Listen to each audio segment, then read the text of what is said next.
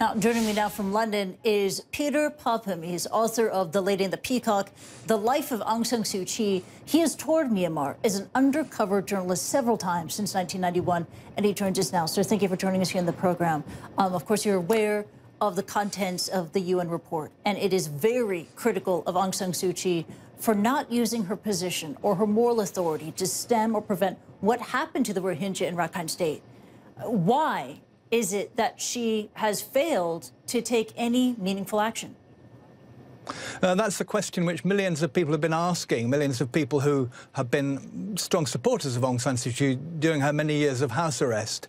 Um, and she hasn't directly answered it. I mean, she's offered various um, thoughts about uh, the terrible things happening in Rakhine State. She accused the media of gross exaggeration, of, of fake news.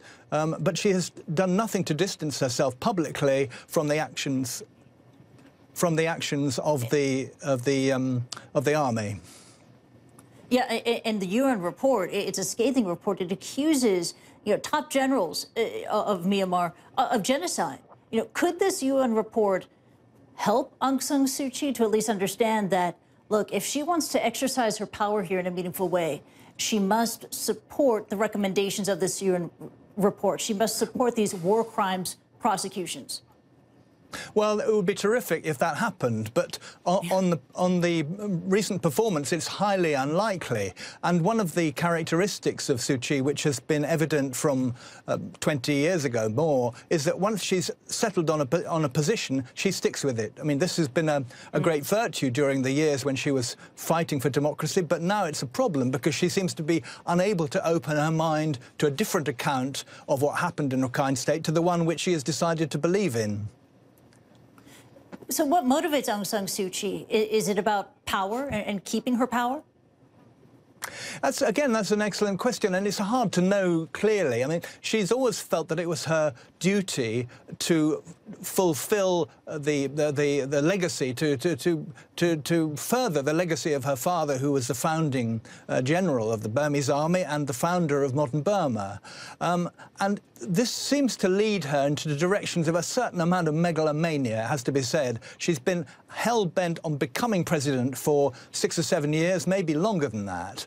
Um, and once she be become president, um, the idea that she would do what everyone was hoping and become a great force changing the constitution, reducing yeah. the power of the armed forces. None of this has happened at all. So, as I say, it's a, it's a disappointment not only about Rakhine State, where it's much more than a disappointment, but in many other areas of the life of Burma, she has not lived up to expectations at all. Yeah, it, it, I was going to ask about that. Is this a disappointment because the world was projecting too much upon her. You know, she is this Nobel Peace Prize winner. She is this pro-democracy icon, a human rights icon. There is this, you know, mythology surrounding Aung San Suu Kyi. I mean, do you think that the world has placed too much hope and expectation on her?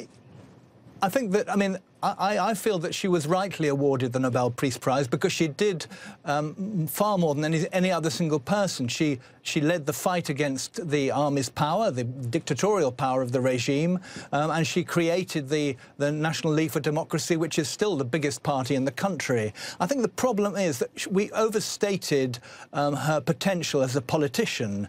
Mm. She'd done almost nothing in politics beside um, campaigning against the regime in 1989 1990, when she was finally put under house arrest after mere uh, seven or eight months of political activity. She had no political activity in her life before then. And I think that we, in that great vacuum that uh, extended for more than 10 years when she was locked up, we we decided that she must have great potential as a politician, and sadly that has not proved to be the case.